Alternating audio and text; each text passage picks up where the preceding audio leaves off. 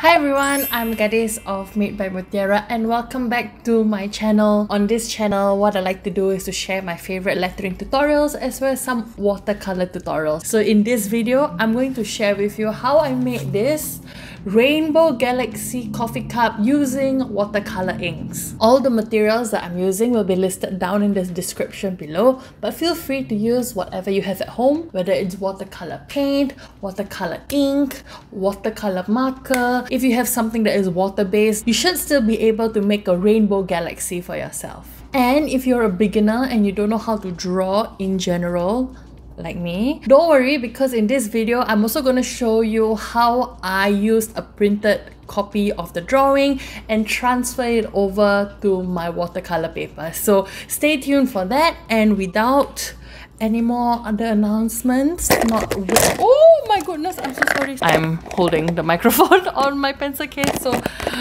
don't mind it i'm so sorry let's go and paint this rainbow galaxy Alright, first things first, Google will be your best friend when you find images. So once you find the one that you like, you can print it out and use a pencil to go over the lines.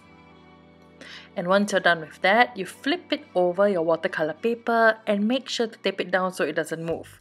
And then with the pencil that you used earlier, just color in and the drawing should be transferred over. Ta-da!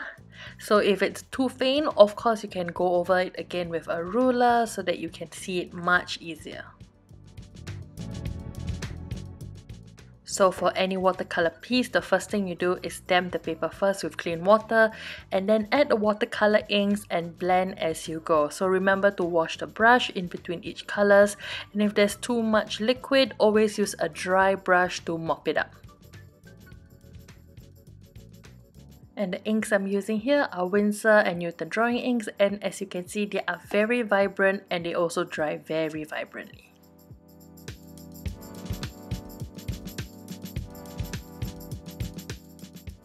For the outlines, I use a smaller size 2 brush to add the black ink while the piece is still wet and then use the body of the brush to blend in the black parts gradually. And what you can see me doing here is adding some black branches because I still wanted it to look like a bit of a space galaxy with some uh, spacey black clouds. So this is just some artistic direction that I took which of course you can follow as well. Once it's completely dry, I will use a white pencil to sketch in the lines from the drawing earlier and also the quote I chose for this space which is I need to venti and yes, I use a stencil which is completely optional but I had this on hand and I really like the look of it so if you want to invest in a stencil the link to them is down in the description below. And now for my favorite part of the tutorial which is to use bleed proof white. So just add a few drops of water and mix and you are ready to go.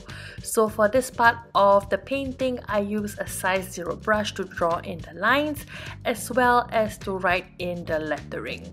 And as you can see, this is so nice and opaque. You only need one coat. You don't need to go over it again. It's very thick and that's why it's my favorite paint. Now once that is done, I will use a bigger brush to tap tap tap tap tap and create some stars because this is supposed to be a galaxy piece. And what you can do is to vary the size of the stars by using either a smaller brush or a bigger brush. And once you are done, just dry it off with a heat gun or just leave it out to dry and you can admire your masterpiece.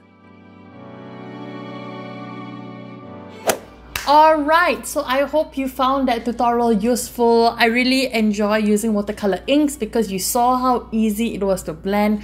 But of course, in a future tutorial, I will be showing you how to use watercolor markers instead. If you tried this tutorial, why don't you tag me on Instagram at Made by Mutiara so that I can see what pretty galaxies you made? And let me know down in the comments what tutorial you'd like to see next. Give this video a thumbs up and subscribe to my channel channel for more lettering or watercolor tutorials. Watch some of my other videos if you have not seen them yet and I'll see you in the next one. Oh, that was my chair creaking.